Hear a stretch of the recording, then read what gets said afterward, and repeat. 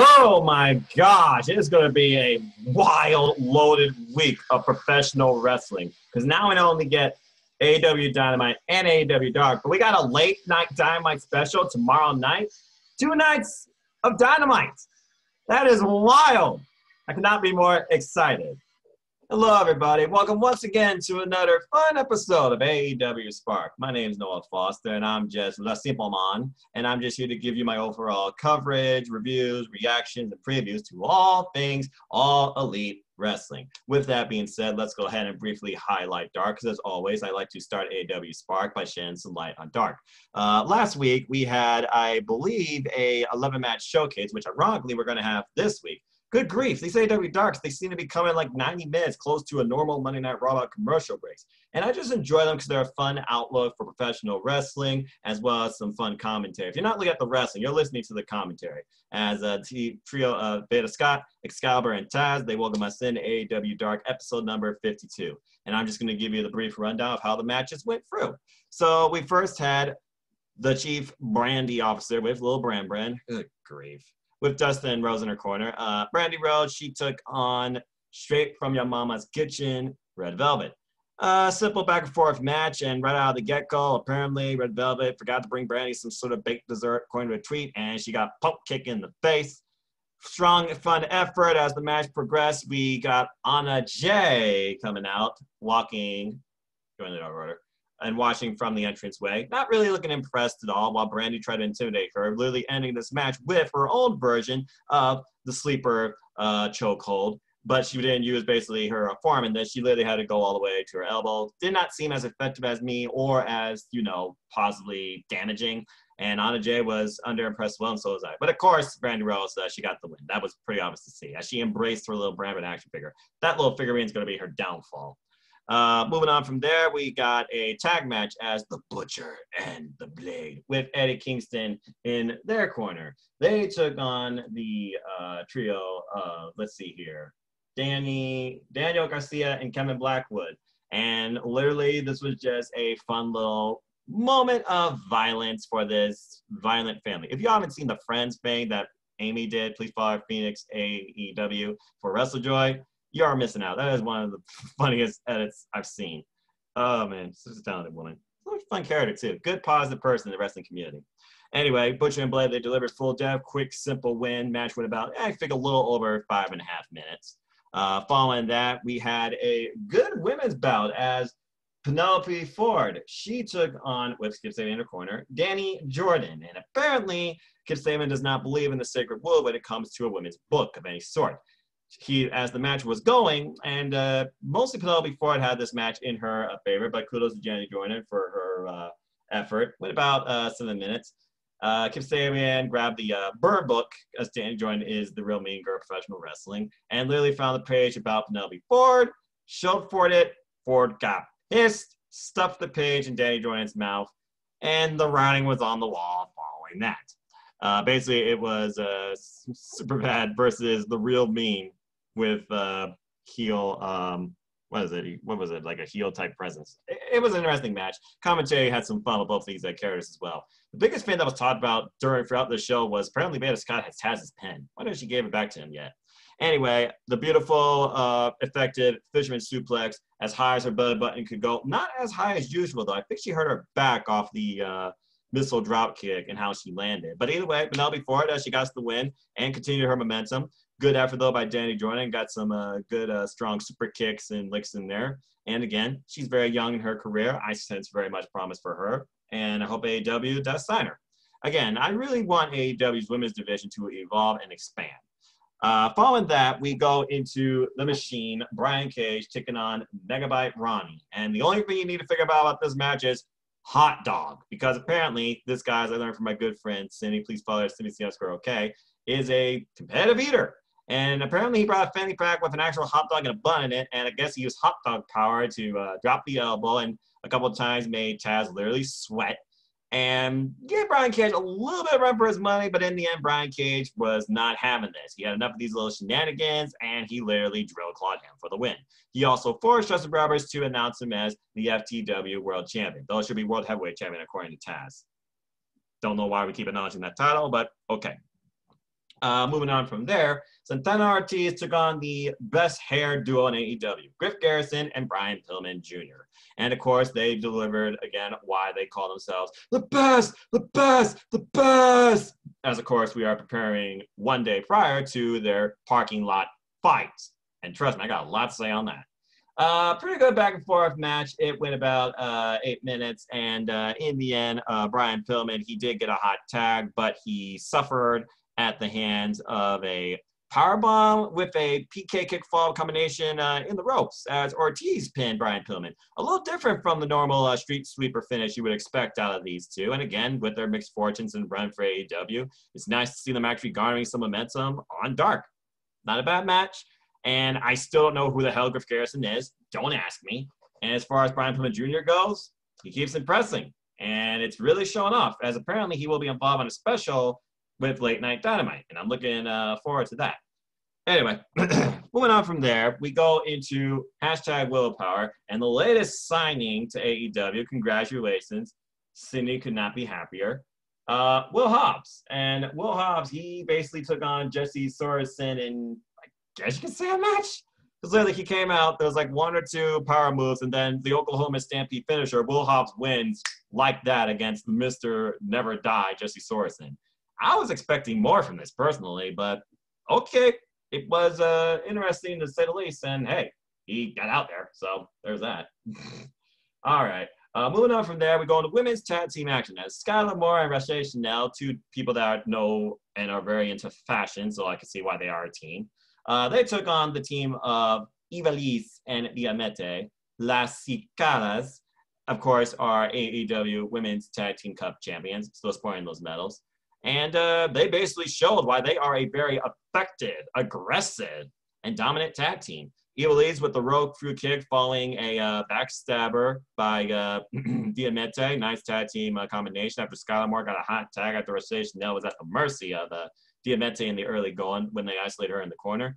And in the end, Las Cicadas, they got the win. I really am surprised that Ivelisse and Diamante are not signed to AEW. And I really do wonder if they uh, keep bringing this type of uh, infuego to the women's division.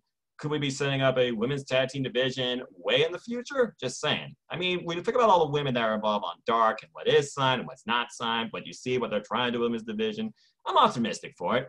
But hey, Maybe they'll have another tag team cup, and that's when Ivelisse and Diamante will be back in huge action again. Has to defend the Mel's and that trophy. I wonder if that's going to be an annual thing. I wouldn't mind it. Anyway, moving on from there, we have the Dark Order as Colt Cabana. He took on QT Marshall with Allie, yay Allie, uh, in, in his corner.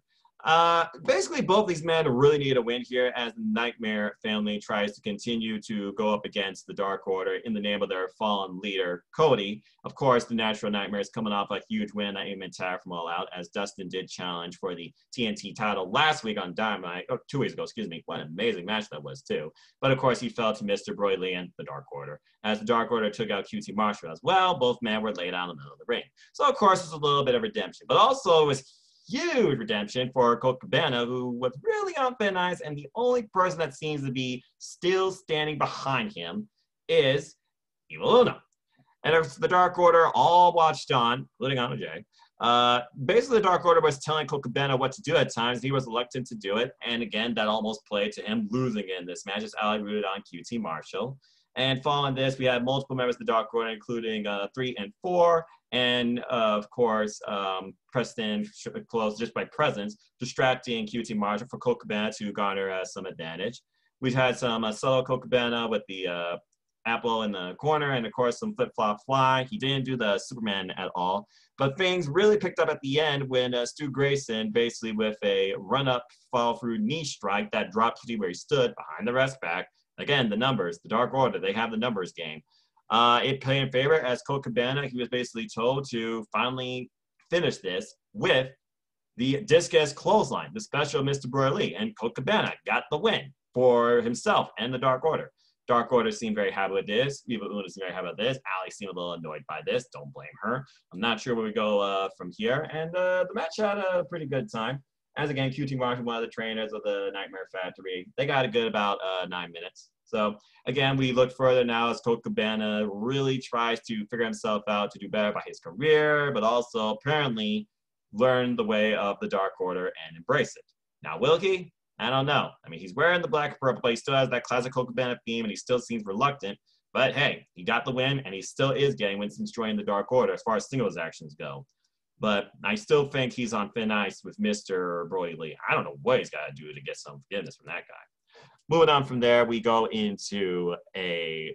This was the number one match. Looking forward to this entire show. This is what AEW Dark's been built around. It finally was supposed to end here as Brandon Cutler and Peter Avalon probably put on my favorite match to date, singles wise, on AEW Dark, as both men put out everything on each other. So many near falls here during this time. But again, there was two ways I saw this ending.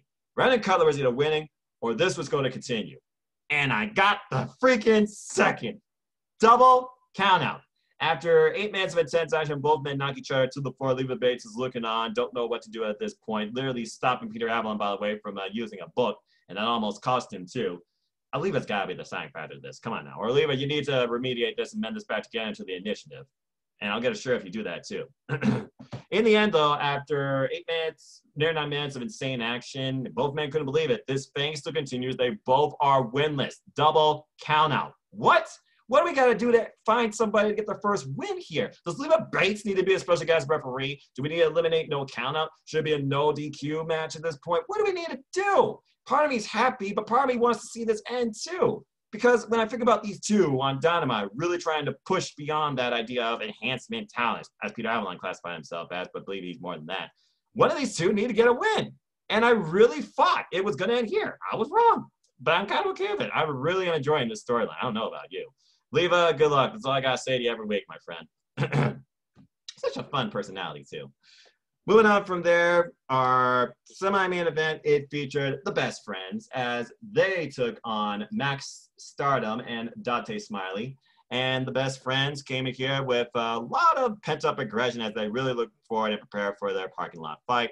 Uh, in the end, it was a pile driver by Trent that got the win uh, for his team as the best friends pretty much uh, dominated most of this. And Trent, the strongest headband in the game with the uh, assisted spear on the outside. Seemed like he put more speed in that spear than I've seen in uh, others. So definitely driven by getting some redemption for his mama, Sue. Uh, good match overall. Strong showing by everybody on this independent showcase. That's what Dark is. It gives a chance for independent talent to really shine. It would not surprise me if a number of these talents been trained in Nightmare Family or Factory or might even get role in what's soon to be uh, Dustin Rhodes uh, Wrestling School. Congratulations, by the way, to Dustin finally starting that. Well deserved. Five decades, earned everything. Timeless legend, one of my all-time favorites. Nothing but respect for the guy. Honored to have met him in January. And then we go into our main event as we have the Dark Order. And basically, it was Evil Uno and Stu Grayson taking on Private Party and Austin Billy Gunn. Oh, by the way, my bad. This was an eight man match. No wonder this was the longest match tonight and was wild and went over 14 minutes. As it was three and four in Evil Uno and Stu Grayson versus Private Party and Austin and Billy Gunn great back and forth, fast tag team tandem offense by all four teams involved in here. Many near fall spots. At one point, Private Party was taken out by the Dark Order. And literally, it came down to Austin and Billy Gunn, Austin being the legal guy, and Austin falling to fatality. As it looked like Stu Grayson was about to pick up the win earlier in the match, but of course, that was broken up. But when it comes to fatality, that is a finish. And the Dark Order stood tall at the end. So a good night for the Dark Order overall. Anna Jay not intimidated and two wins for the Dark Order. I'm sure Mr. Brodie Lee was very happy. It surprises me we haven't had like a little type skit, like a performance review or like really looking at the Dark Order by the numbers and seeing Mr. Brodie Lee like maybe rank his uh, Dark Order recruits based on, you know, their action and stuff. And I wonder if he's going to fire anybody from the Dark Order and replace some people. It feels like to me that John Silver is on thin ice every time I watch BTE. But then again, as this is like an office skit replica, honestly, I say you don't change the Dark Order, keep it the way it is. But honestly, right now, Anna Jay, it's Stu Grayson. That's what I look forward to now in the Dark Order. And Mr. Burley saying, Fuck! But I digress. Okay, so that was last week's AEW Dark. Let's just go ahead and briefly run down this week's episode of AEW Dark. As again, you think they're going to rest? Nope we have another 11 match showcase. Good God Almighty, how the hell am I going to keep up with all this professional wrestling? So, first off, we have Ricky Starks versus Christopher Daniels. If Ricky Starks gets a win over the veteran Christopher Daniels, that would be huge for him and his career. Biggest win today, Christopher Daniels, tested man, way up there, still has a ton to give, always shows off in singles action, has pretty good singles matches on uh, AEW as far as outcome goes. But of course, we got to build towards the war that we're going to talk about shortly. So I'm going to say Ricky Starks gets this one by hook or by crook. We then have tag action with the Dark Order as 5 and 10 take on Risen and Xander Go. think that's pretty obvious, folks. We're going to see Dark Order get a win here, and Alan Angels might finally get his first win. It's amazing what sort of talent they've signed that really have gotten wins out here. We then have the Lucha Brothers with Eddie Kingston in the corner, taking on Dante Smile and Max Stardom. The Lucha Brothers were on thin ice with each other at one point after losing the Jurassic Express. Eddie Kingston remended and remediated that. You're my brother. I love you, my friend. You're both brothers. Brothers fight, but brothers make up and stick together. Well, this match is going to prove that because I have no doubt the Lucha Brothers are going to win this. Eddie Kingston, speaking of which, Real Talk takes on Brian Pillman Jr. And with that ridiculous spinning back forearm strike, there's no doubt in my mind he's going to win this, but this is going to be a great, great match. Eddie Kingston is one of those that doesn't really like put himself on a pedestal. He's out there for the folks in the business that been there up and down the roads with him or the same like him. Real talk, real heart, real wrestler, real man.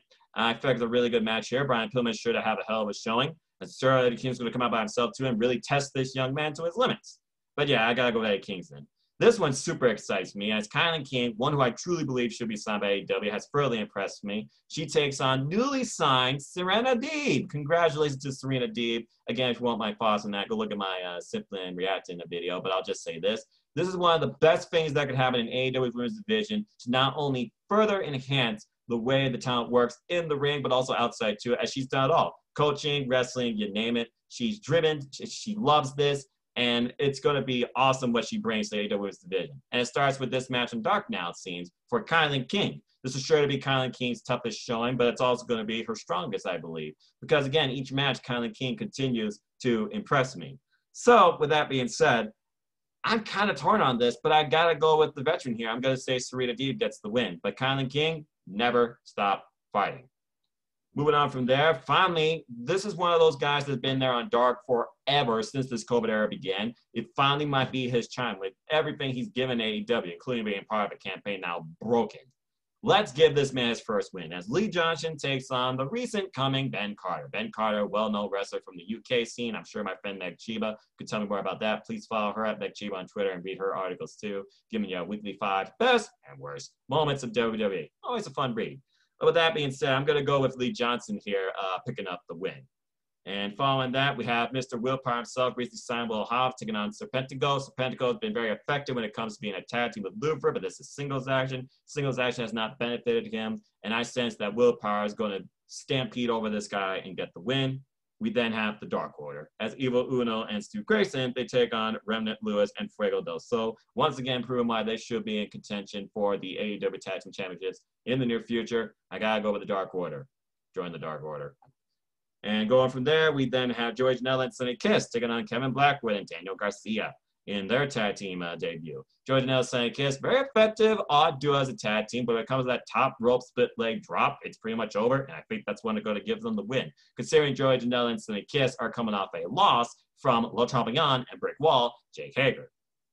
Then we have more tag team action as Mbadul and Cruz take on the Gun Club in Austin and Billy Gunn. Would not surprise me if their thirds watching from afar. But after their uh, loss in the eight-man tag with the Dark Order, I'm going to say that the Gun Club gets the win here off maybe a Fameasser by Billy. And then we have one of my favorite teams in AEW, the Butcher and the Blade, taking on Calvin Stewart and Puff. And I have no idea who Puff is. I've heard a little bit about Calvin Stewart. If you want to know more about these independent wrestlers, I encourage you to follow IW um, TV, Independent uh, Wrestling uh, Television Network. It's like a app service. There's also Powerbomb. Um, also, many of these people, I'm sure my good friend Cindy can tell you. So if you want to know more about independent wrestlers and wrestling, ask her about these names. Follow my friend on Twitter at simplyc underscore OK. And support Prime Wrestling Post because that's the heart of this as us fans of professional wrestling. I wish I knew more about these people personally, but it's always nice to hear when Taz and Excalibur actually give me insight versus fun humor about themselves. There's a nice balance there, but I always want to learn more about the wrestlers personally. But regarding this, full death, simple as that. Butcher and Blade gets the win.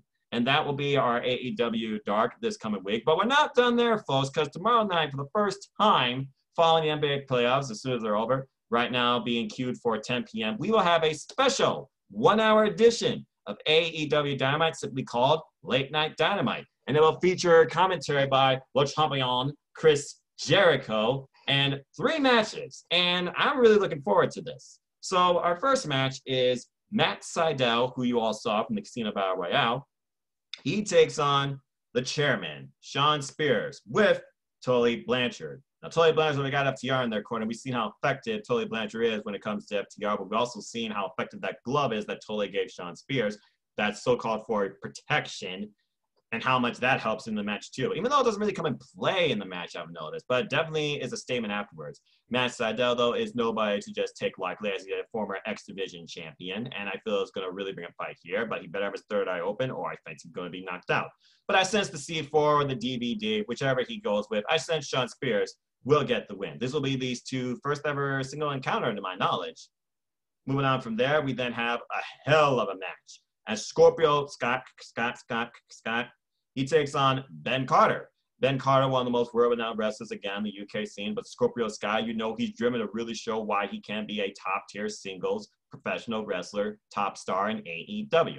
And of course, coming off the loss from the TNT title with Cody, but of course that eight-man win over the Dark Order, yeah, you gotta say Scorpio Sky's now trying to build some singles momentum. And this isn't on Dark either, and he wants to go beyond Dark. So this is his chance now to uh, really get things back in his favor coming off what uh, Kazarian did uh, last week and what Christopher Daniels is going to do on Dark, Scorpio Sky, I'm sure, is going to try and outdo what both of them are going to do. So, with that being said, I am going with Scorpio Sky for the victory. And then it would not surprise me this is the opener, though. But then again, maybe if given the time, it will be. And maybe the angle, because think about the angle, because we don't know where Ty stands. We then have the Queen Slayer, number 99, Anna JF, the Dark Order, taking on Brandi, Brandi Rhodes. Finally, all she wanted was a one-on-one match. Fight me? Well, now we're to get it. So here's the way I see this going. I sense Dustin will be in Brandi's corner, and only Dustin. I sense Anna Jay will have the Dark Order just escort her and then go straight to the back because when it comes down to Jay, she gets the business done on her own. Period. But there is Stu Grayson, and I'm sure Stu Grayson will be watched from afar. But then again, Stu Grayson won't need to restrain her like he had to at all out. Uh, with that being said, though, Anna Jay just going past one year in her professional wrestling career. Congratulations to her. Uh, Brandi Rhodes, I know she's trying to help the AEW women's division, but also want to prove that she is a great wrestler as well. I personally, and this is just me personally, I want to see Brandy Slade. So I'm going with Anna Jay personally for the win. May she put her to sleep for good. And maybe they'll write Brandi off uh, TV for a while and we further this idea of the dominance of the Dark Order. Over at the Nightmare Family, where both of them return and challenge the Dark Order in some uh, odd way. There's got to be something big coming down to the Dark Order versus the entire Nightmare Family when they clash. Because you know Cody and Arn, they're going to return with vengeance.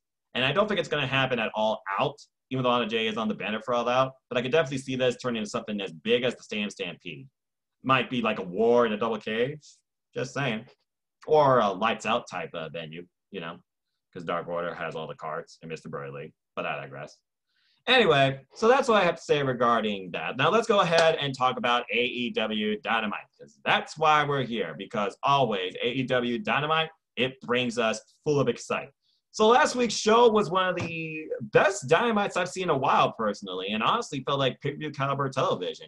As last week we started off with FTR taking on Jurassic Express, or so we thought, because as Jurassic Express were out in the ring, who comes out but the Young Bucks to just double super kick a referee wearing brand new shirts, by the way, and a whole new attitude, it seems. And then they just walk away, and it's like, well, that's probably another $10,000 fine, $5,000 each. But they suddenly just see Tony Khan. Hey, Tony Khan appears backstage, and Buck says, "You want to find us?" Pulls out wad of money, throws on Tony Khan's lap, and they walk away. According to BT today, though, they have been fined another ten thousand dollars. So I wonder if they're going to do the same thing, where they're going to double a super kick now, how they're going to set their presence. Will we learn why? And where does Kenny Omega's head stand? Anyway, as we move on from that angle about what's going on in the elite, is the elite fine? I don't know, Carol. Uh, we go into an awesome tag team match as Jurassic Express. Once again, they always continue to impress. But Jungle Boy here was definitely the uh, star of this match. My God, the endurance this guy went through and the spots that this guy tried to get the win out of. FTR and Jurassic Express is a really good competitive opener. Luchasaurus was taken out after again. He went flying and was basically extinct. And it came down to uh, Jungle Boy in a 2 1 handicap match, but FTR, they controlled him in the corner and basically outside the rest view. Tully and the assistants of the I Remember FTR, they all three worked together to get the pinfall win over Jurassic Express. So that's probably going to hurt Jurassic Express in the rankings. And FTR, again, they bring their style of wrestling to the AEW division. And with Tully on their side, you got a very effective, dangerous team and trio on hand. Tully with the manager and the uh, expertise experience, and FTR with their all round tag team wrestling uh, dynamics and background. It's going to be interesting to see what it's going to take and who's it going to take to dethrone these guys. Honestly, FTR, they might go further than Omega and Page because they are a legitimate tag team and they are unlike any other team in AEW. Just saying. So I'm very curious to see uh, what happens uh, from there. All right. As we move on from there, we go into everyone's favorite because he's better than you, and you know it. MJF. MJF was in action, if you can call it that, literally with the biggest ring bearer out there at ringside, and literally he destroys his opponent in a matter of seconds with the salt of the earth armbar almost as quick probably as when uh, Hikaru Shida took out Red Velvet ahead of her face Penelope Ford for the AEW Women's Championship. And basically, he sends out a statement here talking about maybe with the way the environment is here, I need to recruit some people, build my own faction. If you all are familiar with MLW, you might know where I'm going with this. But then again, whether he leaves, comes, goes, and they stay, it doesn't matter because at the end of the day, I'm going to prove why I am the undisputed uncrowned, undefeated future AEW World Champion. And apparently now he has some sort of moniker type announcement intro he wants Justin Roberts to say every week he comes out in regards to that. So get ready, folks, because you thought MJF was overbearing before. You ain't seen nothing yet. And I can only imagine what's going through Wardlow's mind as again, I can sense how much Wardlow just probably wants to knock MJF's head off. Just saying. Anyway, moving on from there, we go find Miro training with uh, Kip Sabian and Penelope Ford, and he's just getting jacked. Both of them are basically uh, training. At this point, Miro's like, you say ring, you say fight. I'm ready to get in the ring. I'm ready to fight. I, I can't wait to see Miro in his in-ring debut. But uh, in the end, he also once again knows why I know, I know, because again, you picked me because I am the best man and the best man has the best bachelor party planned. So stay tuned for that. I'm sure that's going to be a wild segment. And of course, I'm sure it's going to be exercised with social distancing. But again, we'll see. Uh, moving on from there, we go into a really great competitive singles match. My gosh. As Kenny Omega was on commentary, as Hangman Adam Page took on Christopher Kazarian. And both these two gave us an absolute clinic it looked like at one point that Kazarian was going to get the win off of a powerbomb uh, combination, and these two men they traded Lariato for Lariato. But again, in the end, Adam Page he did show incredible endurance. He pulled himself together, pulled out the buckshot lariat, and he did get the win as Kenny Omega watched on. As the win happened, though, Kenny Omega he just walks away to the back, very uh, reluctant. It seems like yeah, it's a good singles win. So we don't really know where Kenny Omega's mind stands as he watches this on. But you could tell that Page, he wanted to basically try and uh, mend bridges with Omega, and doesn't look like that's happening for now. Great singles win for uh, him and Page. We'll see when K Omega, whenever he comes back in action, we'll see uh, what he brings and if he uh, can bring the same. And as far as Kazarian goes, Kazarian continues to impress as a single star, but I know he has tag team gold apparitions in his uh, future. And Scorpio Sky seems to be the only one pursuing a singles career. But then we also have Christopher Daniels, who's been doing a lot in singles on Dark. We'll have to see what really goes on for all three of these men individually. Because honestly, everybody in SCU right now, they're kind of writing their own story. And I don't know whether it's a good one right now or a bad one. My heart goes out to Kazarian because, again, that guy is a top ballot AEW champion waiting to happen, man. I'm surprised he didn't challenge yet for the TNT title. And I hope he does soon. Incredible effort, incredible match. If you all watch one match from this week, keyword match, that'd be the one to watch. Moving on from there, Eddie Kingston comes out, and he basically says he has three points to make. One, he was never eliminated. He never went over the top rope. Go look at the tape. Well, we looked at the tape. Now go tell Lance Archer and Jake that. Because right now nothing's changing. But it would not surprise me because of that that Eddie Kingston does eventually get an AEW World Title shot. Because again, AEW they're not all about controversy. But again, Eddie Kingston going to keep running that in the ground. Then we also get to we are a united unit. We are a family. And as a family, we have our little bonding time. So what they do, they take some independent wrestlers out of the audience and literally beat them around in the ring. And then three, they said that it's time that we really bring face back together, especially for you, Blade. You need to go take care of QT and get your little bunny back. Well, I knew this was solely teased, but it looks like we're getting a QT versus Blade program. Uh, unless it's the Natural Nightmares versus uh, Butcher and Blade, which may flick uh, Allie. Hey, Allie. The only thing I'm concerned about this is that I hope this doesn't stop Allie from wrestling, okay? Because I see her much more than uh, Ballet. And she's had some great recent singles wins on Dark, and I see huge potential in her.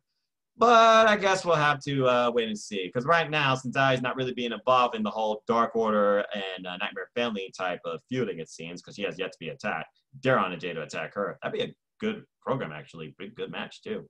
Uh, I don't know what's next for uh, Allie. So, again, AW takes you in different directions. So, we'll see what happens with that. Following that, we have tag team action as Le Champion, Chris Jericho, and Jake Hager. They took on Private Party. And basically, Private Party, they were out here to get some retribution for Matt Hardy, who was attacked earlier on the show backstage. We don't know really necessarily how, but I think we all subtly know because who comes up after Private Party sees Matt Hardy laid out, but Chris Jericho holding Floyd the baseball bat. Again, the sixth member of the inner circle. You always need to consider that, okay? Just saying. Uh, very good competitive uh, tag team bout, and uh, in the end, Chris Jericho he gets the win here with the Judas are fucked. And once again, these two prove their uh, dominance and prove why they are and want to be the future AEW Tag Team Champions very curious different directions it seems going right now in the AEW tag team division. And again, Private Party eh, just can't seem to catch a break. Tough break. They came really close as Chris Jericho locked the walls in afterwards and then literally got Pele kicked by one of them. I sense a singles feud. I sense that Private Party and their circle aren't done with each other yet too. Just saying. Moving on uh, from there, we go into a bit of a setup for next week as we have a huge six-man tag team match where Jon Moxley and Lance Archer respective sides they will each pick two partners. And we learned who the two partners of Lance Archer was as he came out to the ring. It was Team Taz. And basically the proposal is this. After Lance Archer beats Jon Moxley for the AEW World Championship, he will give the first shot to the Machine Brian Cage for the title. So we got a Murder Hawk, we got a Killer, and we got Assassins. So what does Jon Moxley have? Here's Jon Moxley up in the stands, about to tell us who he's going to have. But who comes out and attacks him in the stands, masked, and yeah, I have no idea. It was Brian Cage and Ricky Starks basically attacking the champion, the him. But who comes to Jon Moxley's aid? Will Hobbs. As he says, the most dangerous man straight out of Oklahoma. This is one of my partners, Will Hobbs. And I think we all knew at least one person that Jon Moxley was going to team up with, as he calls out for one particular relentless person. Darby Allin, get your ass down to Jacksonville, because next week we are going to war. So there you go, folks. There's your main event for next week as we have Darby Allin, Jon Moxley, and Will Hobbs taking on Lance Archer and uh, Ricky Starks and Brian Cage. Should be a very interesting contested bout. Now, before we go into the actual close of the show, allow me to talk about also the great women's match we had, as well as the historic title match, as we had Thunder Rosa defending the NWA Women's World Championship against Ivelisse. These two brought a very aggressive fight to each other, almost like a shoot, apparently, according to what I read, where it seemed like he at least wasn't selling what Thunder Rosa was bringing, which kind of hurt the identity of the title because you're showing that the champion is not that strong, according to what I'm seeing here. And again, you need to protect, you need to defend that legacy and, and protect that. Uh, with so, it, it was an odd situation personally uh, for me to watch that. Anyway, I thought it was a really good match. And in the end, of course, Thunder Rosa, she did win with the uh, Rosa with the uh, driver. But then Diamante also attacks her from behind. It's a 201 assault. But who comes out and basically helps Thunder Rosa during this? Hikaru Shida. Hikaru Shida comes out uh, for the save here and basically looks at the NWA women's title and then just hands it back to Thunder Rosa. Champion respects champion. Game respects game. which sets up what I thought what I wanted to see, and it did. During this dynamite, we are going to have a huge women's tag team match, champions versus champions. As Thunder Rosa and Hikaru Shida, they take on the duo of Ivelisse and Diamante. And that will also be next week on AEW Dynamite. Some wild action to come. But you want to talk about wild, you want to talk about pay-per-view caliber television. Look no further than the absolutely insane, bloody, brutal parking lot fight. Not a street fight, not a parking lot brawl, but just a parking lot fight. Circle of cars, fans galore, and wrestlers, of course, social distance. And we see Santana Ortiz come in like something out of a God remake for guerrilla warfare, it seems. Basically take on the best friends, and nothing was left basically at that parking lot untouched. Multiple buys went through underneath car hoods. They went over freaking hoods. Glass everywhere in people's backs. People were power bombed, slammed, sent on, freaking dropped on the vehicles. Vehicles were shattered basically as far as their roofs goes. They were uh, concave. We had steel pipe. We've had change. We had that retractable baton. We've had trash buckets. We've had freaking wet floor signs, and of course, unforgiving concrete. And basically, this was just an all-out physical war. At one point, it looked like Proud Powerful were about to finish off the best friends after basically power bombing Trent onto basically through a windshield of a vehicle. And he literally slowly just turns over, and you just see shards of glass in his back and just blood everywhere. He was cut open like a ham. God. And literally, big old steel pipe was about to end things here as Chucky was just up against a car. But apparently, they had a secret weapon, all at the push of a button. As a hood opened up of the car that he was at, and who was in it?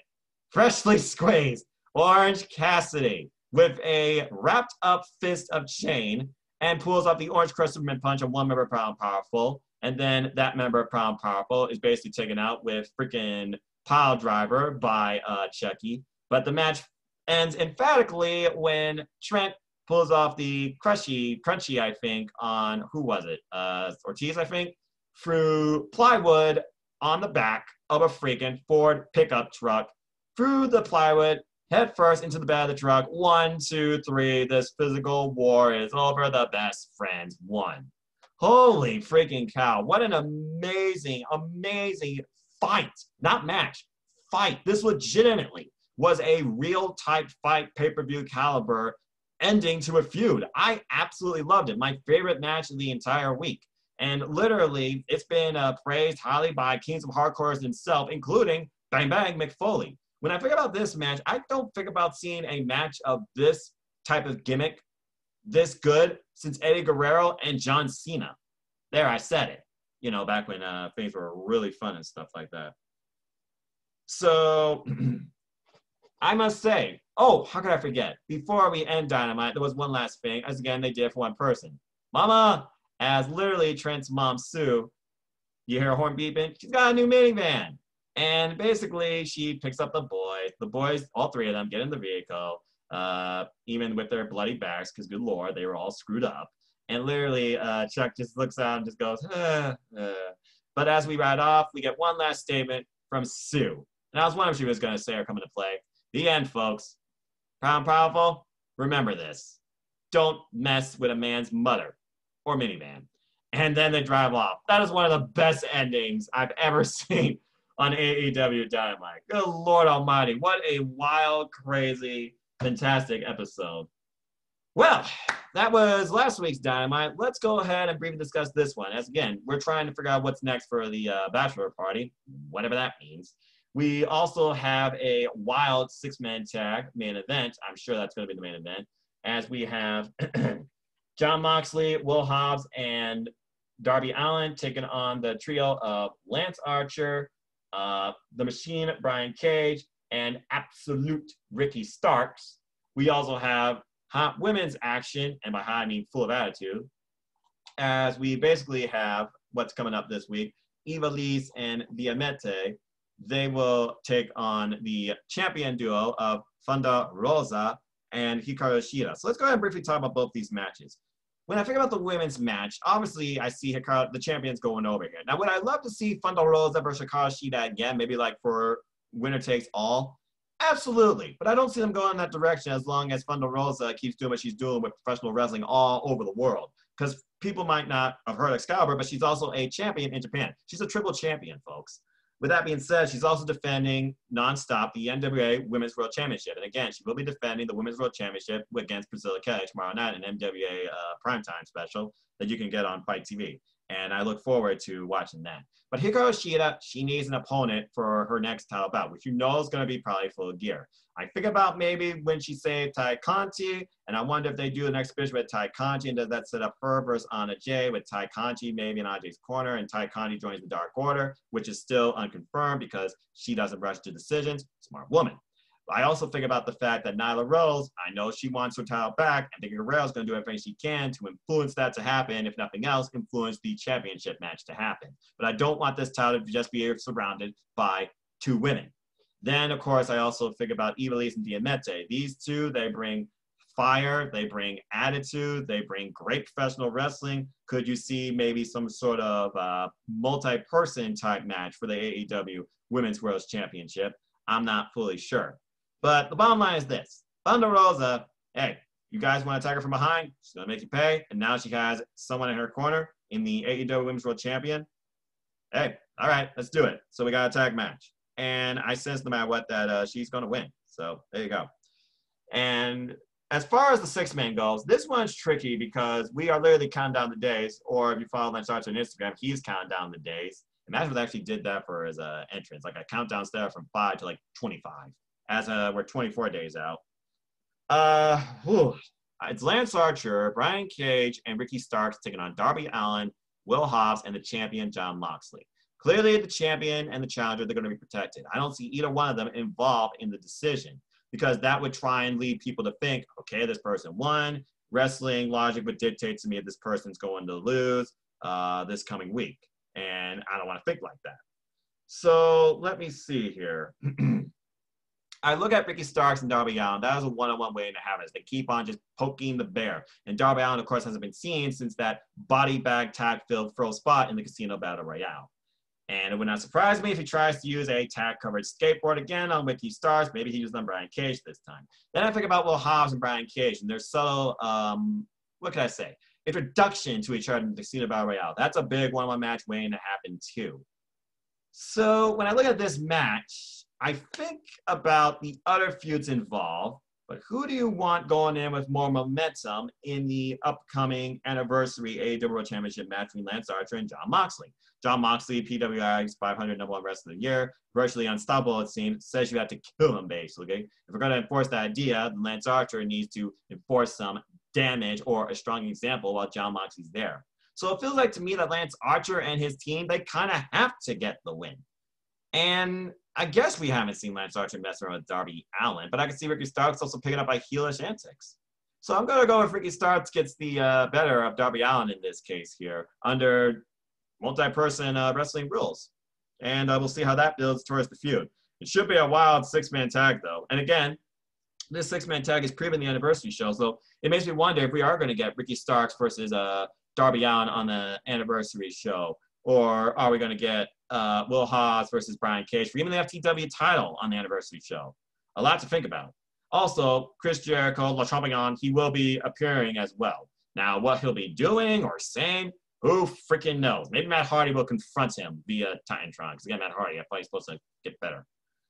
Okay, and that just leaves me to talk about this last match. As I guess because we don't know what's going on here, and he has been very effective and dominant in his singles run. Mr. Brodie Lee will now defend his TNT championship against freshly squeezed Orange Cassidy. Well, we just went from the Nightmare Family versus Dark Order to the Best Friends versus the Dark Order, in my opinion, because I sense all hell is going to break loose here. Because I don't know what Mr. Brodie Lee is going to do to Orange Cassidy, nor do I know what Orange Cassidy is going to do to further infuriate Mr. Brodie Lee, where we might literally audibly hear some F bombs dropped.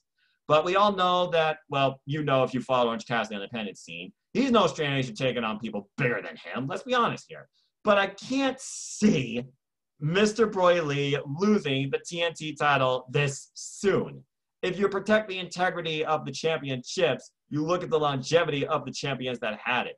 Nobody's been a flash in the pan so far with the women's title, the world title, the tag titles, and even the TNT title. And yes, the TNT title I know is the youngest, as Mr. Brodie Lee is literally their second champion.